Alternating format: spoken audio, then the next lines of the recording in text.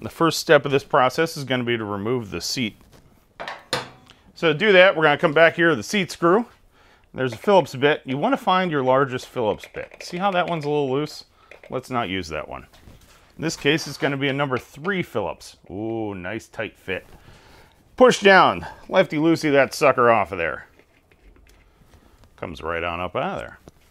Grab the back end of your seat, lift up, and pull backwards. Seat comes off. First thing we're going to do, cut this zip tie right here. Make sure you don't cut the wiring harness underneath it. Get that out of the way there. Then we're going to take this brace off. And uh, that's going to take a 7 16 socket.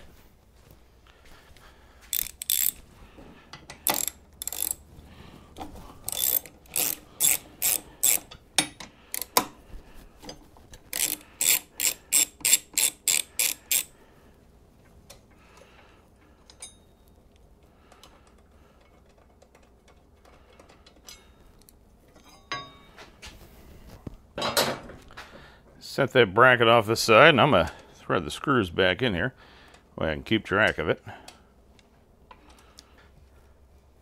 Next, we're going to remove the side cover. This takes a 5 30 seconds Allen socket.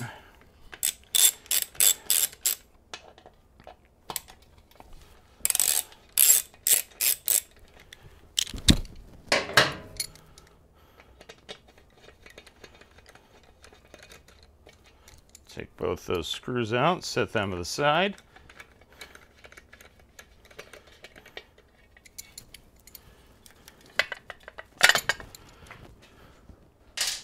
Take this little plastic tab here, you can pull it out of that bracket there and lift it up. Set that off to the side. Now we're going to disconnect the negative battery terminal first. So you get in there with a 10 millimeter wrench, that's where I said 10. Break that sucker free. Then you might be able to get in there with your fingertips and thread out, or you might have to go in from the top with a Phillips screwdriver. Might have to use a ratchet. Hopefully you'll thread out with your fingers. Move your battery wire off to the side. Thread the screw back in there, keep track of it for now. Make sure your wire is off to the side, not touching the battery. Whoop. That way it won't accidentally reconnect and electrify the entire system. Now your battery terminal's out of the way, you have all these little wires here, and it's not as woo as it seems. This top one here will pop off with a little quick connect there. Then you can take these wires and push them out of the way. Now, why they made this one a quick connect and this one a permanent zip tie, we'll never know. However, you get down in here and cut that little zip tie right there, and then we'll put a new one in in a better location. But either way, you get the wires out of the, out of the way right there. Then from there, you have this little quick connect here on the side of the battery. Press this little button in, and you should be able to slide the plug right on out of there. Hopefully you can see that. Boop. Set that one off to the side as well. Now, you should be able to slide this plug out of that plastic mount and undo it down the little S wire hook thing. I, whatever. Undo it down out of the way there. So right down here, we can just stick this wire off the side and disregard these red ones. Um, you won't have this red wire right here. This is for a aftermarket air suspension I have. But from there, you can take a small flathead screwdriver or T-handled Allen wrench, flick that thing right out of the way there. So you can see, if I can get the screwdriver in there, see this little hook tab right here? Boop. Okay, so this is this outer plastic bracket here. So you're gonna have to get that out of there. And then it will slide right on out of there. All right, going with a handheld here for this one. So right down here, so you can see that, there's that little plastic tab.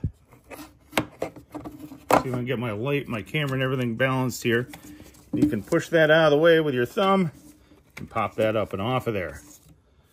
Just like that. Sorry for the shaky camera. And then this thing should come right on out here. Now you can take all your wires here. You can take this little plastic bracket here and slide it right on out of there. Woo! Why there's not a little rubber strap on there and that's it? I don't know. But it is what it is. These are not decisions I make. Disregard all these little extra stuff. Uh, disregard all this stuff. I'm actually in the middle of a air shock install and I thought I'd shoot the battery video while I was in here. So, all right, so you see way back inside there, there's a the positive screw. I'm gonna put a socket on it right there. Uh, it's actually not that bad to get from the top, but my hands would be in the way and you wouldn't be able to see it. So we're looking in there from the side. I can actually reach down and touch it there, so you can see it's actually not that bad. But we'll take a 10 millimeter socket, back that screw right on up off of there. And from there, you better reach down to your fingertips, pull that screw right on out of there. Your battery cable will be out of the way. It's not nearly as bad as it looks, I promise. At least this part isn't. Then from there, you can grab your battery.